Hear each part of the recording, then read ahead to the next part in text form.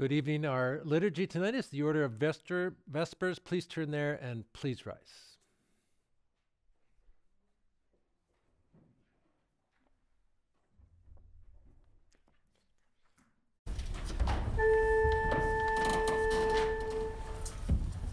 O Lord, open my lips.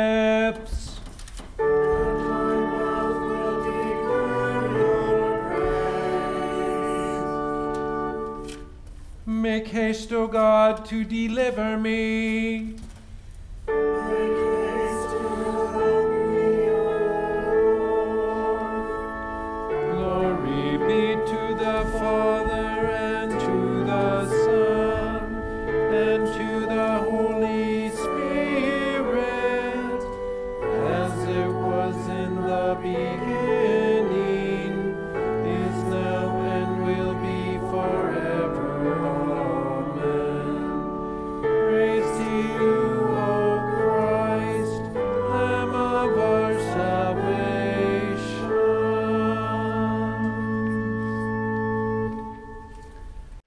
Psalm for tonight is Psalm 68, verses 1 through 6. We'll sing this responsively and after verse 6 join together in the Gloria Patri. Psalm 68.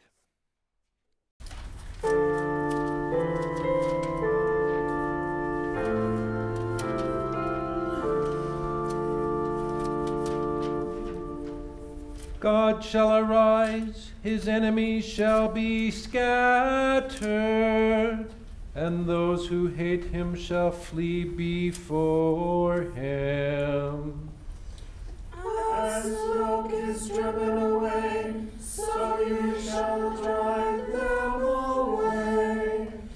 As wax melts before fire, so the wicked shall perish before God. But the righteous shall be glad, they shall exult before God, they shall be jubilant with joy. Sing to God, sing praises to his name.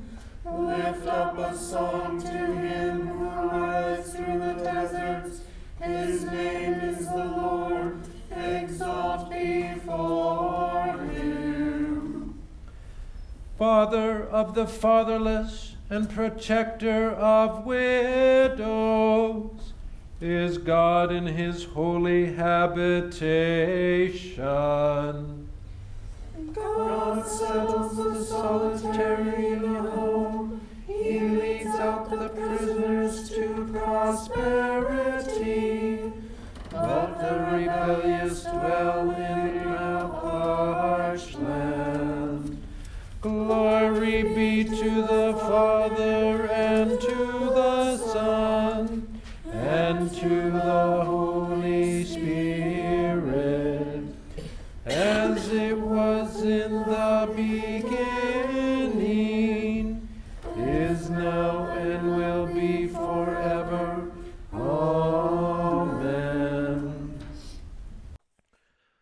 Please be seated for our hymn 581, verses 1 through 5. 581.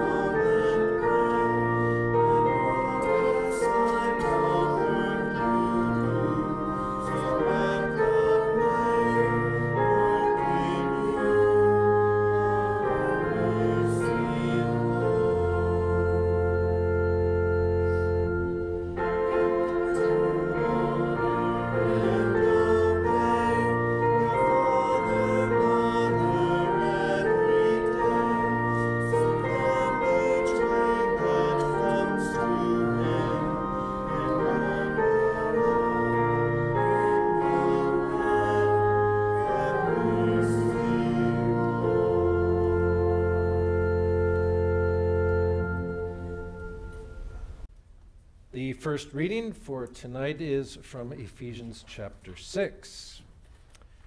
Children, obey your parents in the Lord, for this is right. Honor your father and mother.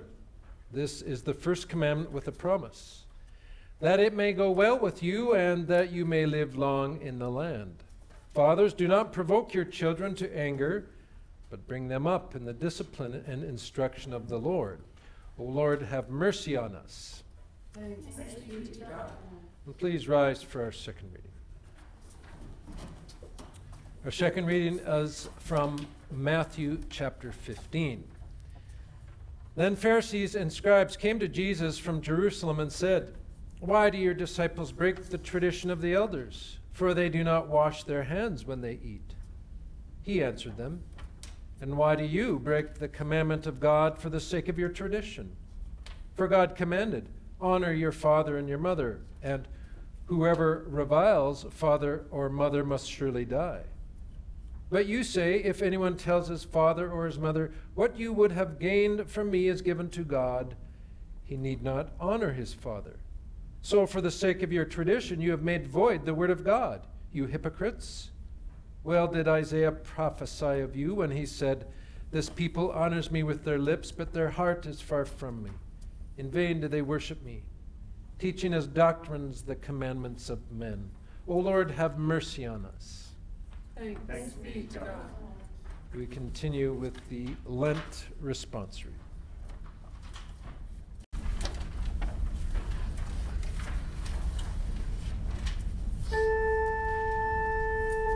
Deliver me, O Lord my God, for you are the God of my salvation. Rescue me from my enemies. Protect me from those who arise un.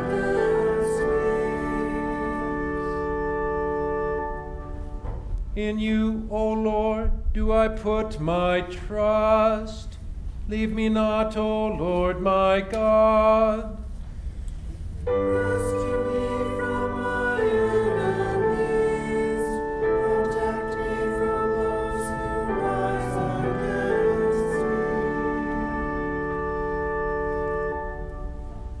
Deliver me, O Lord my God for you are the God of my salvation. Rescue me from my enemies. Protect me from those who rise against me. In the name of the Father, and of the Son, and of the Holy Spirit. Amen. Please be seated. So far in our midweek Lent series, we have covered the first three commandments that deal with loving God. We call this the first table of the commandments. They are again, you shall have no other gods, you shall not misuse the name of the Lord your God, and remember the Sabbath day by keeping it holy. Now we move on to the second table of the commandments. These deal with loving our neighbor, and tonight we'll consider the fourth commandment honor your father and your mother.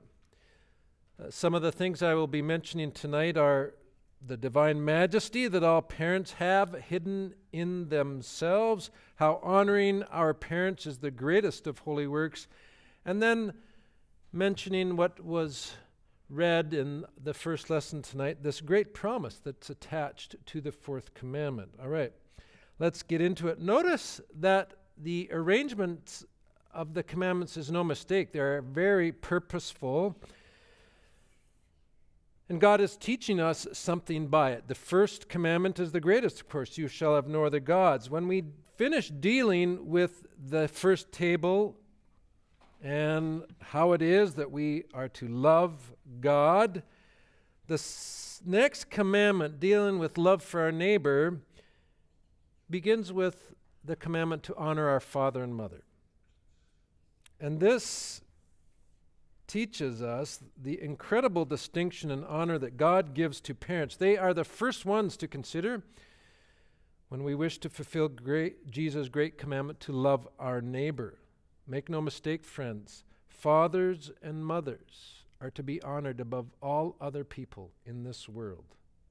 They are next to God Himself in deserving honor, respect, and obedience. And that is because of what Luther called a majesty hidden within them. After all, our parents participated with Almighty God, creator of the universe, when we were conceived in our mother's womb. Our parents participated with God in sustaining life, at least when you were a child and needed to be fed and clothed and cleaned. So mark this, and this is especially important for young men and women who want to go out into the world and do good and make a difference and be people of influence. The greatest holy work, the greatest good work you can do for others is to honor and obey your parents. Luther was scandalized by those people who would leave home and leave work and go join the monastery thinking that by it they were doing something great and noble for God. But Luther said, One small child who humbly obeys his parents put all the monks and nuns to shame. Their work is far greater than all the works of the monks and the nuns. And this is because the child who obeys his parents has the blessing of doing that which God has commanded in his word, whereas the monk or the nun does not. God has said, honor your father and your mother. We should rejoice that He has made it so plain and clear how we ought to love our neighbor and do that which is good.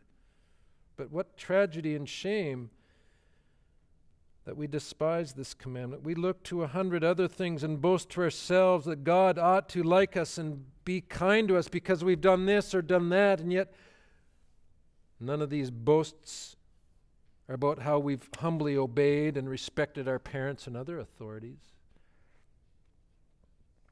So, why does God expect us to honor our parents? Why did He put it at the first of the second table of commandments? Why such deference, again, to parents? And why does He threaten His divine wrath and eternal punishment for those who dishonor their parents? Even our epistle lesson made note of that.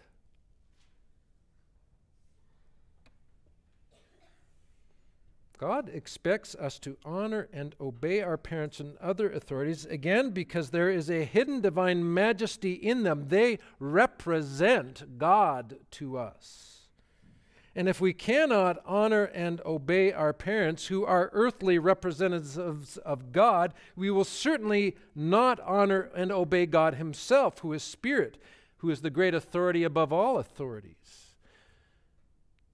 Let's remember that God loves the world.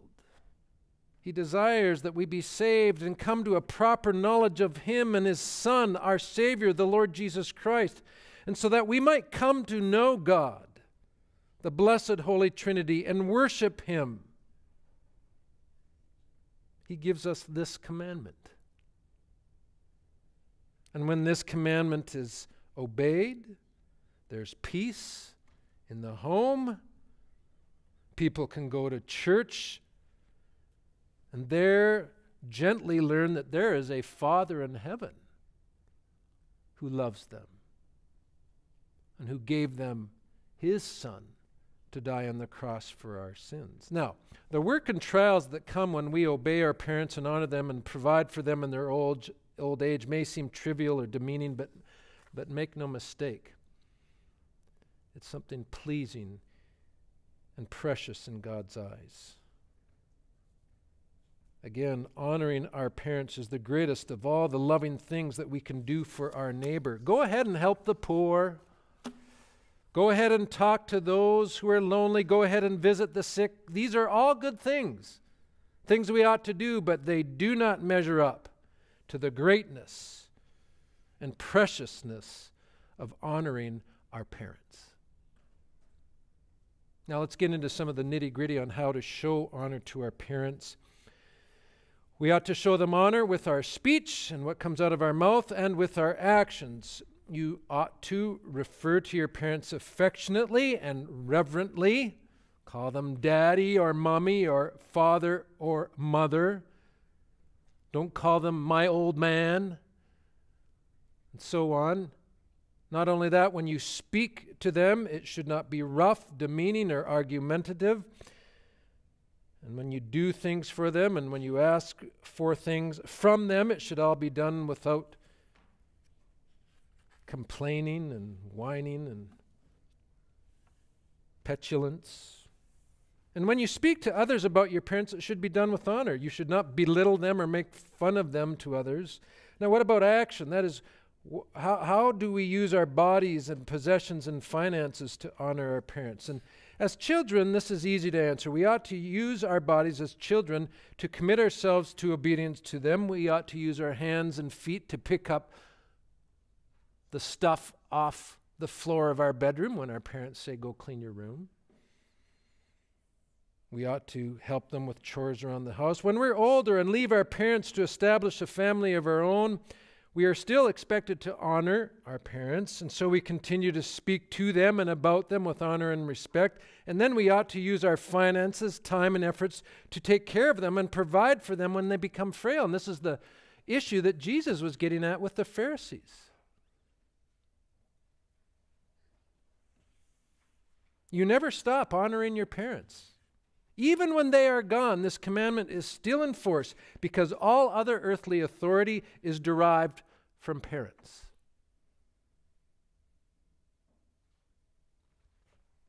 Luther is careful to mention that there are four kinds or classes of parents or fathers that God expects everyone to honor and obey. First and foremost is fathers of blood, that is, biological parents. And with this class, we can include stepfathers, stepmothers, those who, who step into the role of being father and mother. Uh, they too deserve obedience and respect. Secondly, there are fathers of business. Uh, that is, those who provide work and income. They too are God's authorities and ought to be honored and obeyed. Thirdly, there are fathers of the nation, that is, human government, who provide safety and stability for the children under their care. God expects us to honor and respect such authority as these. The Apostle Paul gets into it in great detail in Romans 13. Lastly, there are spiritual fathers. This means pastors who shepherd and care for Christians and those in their care by teaching God's word to ensure that they grow up to mature faith in Jesus Christ and so gain eternal life. Paul said that these fathers are worthy of double honor. Now, what is implied in this commandment, honor your father and mother, but not stated outright, is that there are duties that parents and other authorities ought to be busy fulfilling. This duty involves physical and earthly things. So for parents, this means feeding, clothing, and cleaning your children. For employers, it would include making a safe work environment and things like this. But remember, the greatest duty for parents that is even above that which is common sense to all people, take, you know, providing for the physical needs of your children. But the greatest duty is that parents are careful to see that their children are diligently taught God's word so that they would come to fear and love God. And friends, this duty extends to all these other classes of fathers too. Government, too, should be in the business of ensuring its citizens have good preachers to go to. Businesses, even, should be careful to see to it that their employees can go to church at some t- point. Of course, the great problem with the fourth commandment is that no one wants to obey authority. We love being the rebel. We love standing up for ourselves and thinking that no one can tell us what to do.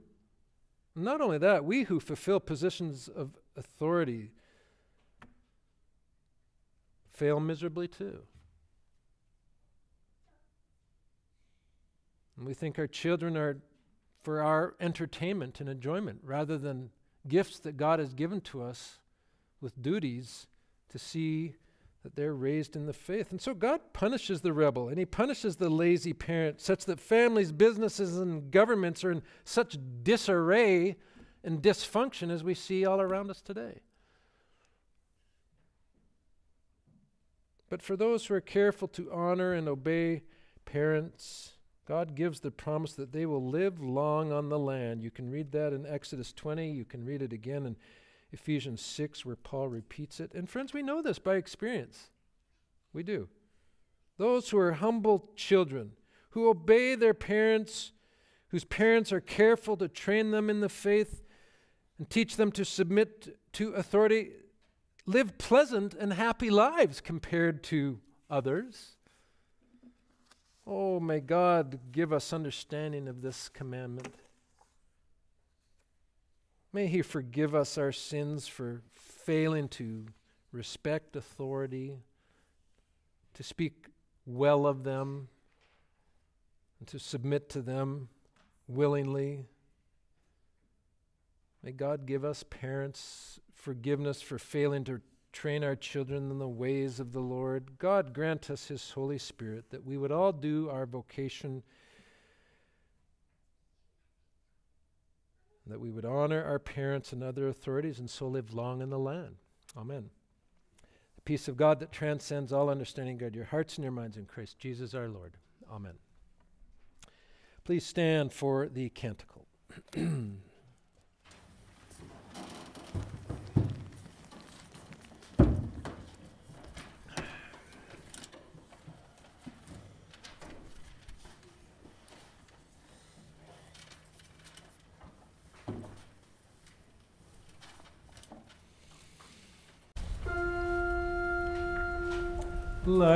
prayer rise before you as incense.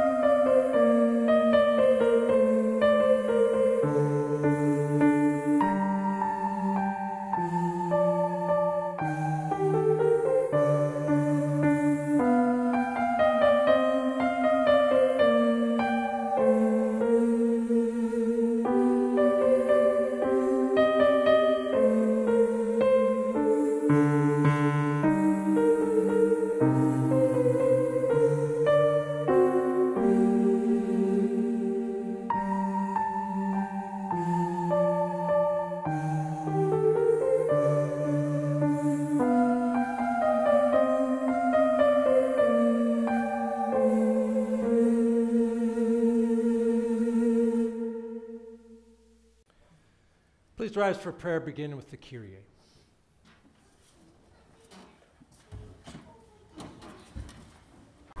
Lord,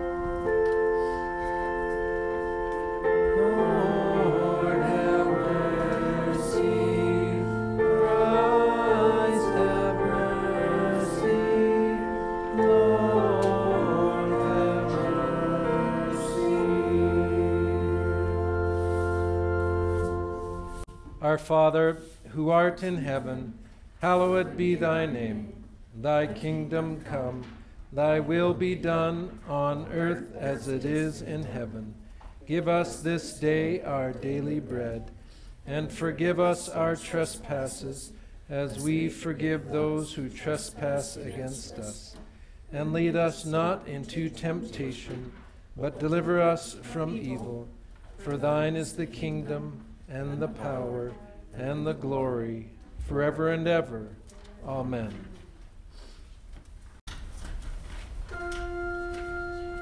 O Lord, hear my prayer.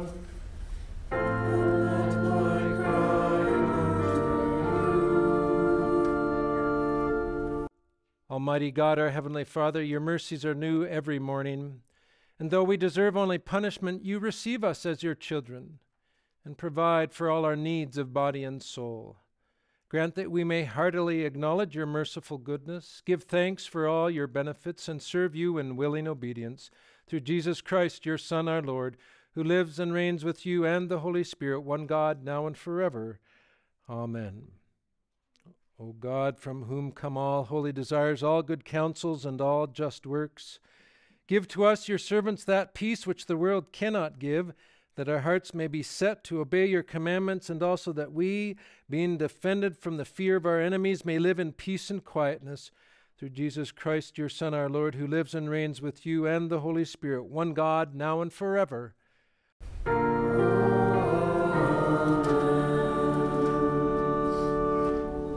Let us bless the Lord.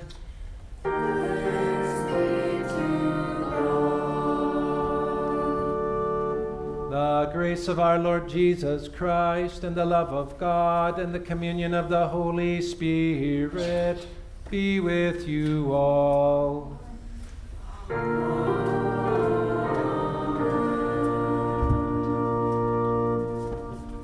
Amen. Great to see you. Have a nice evening.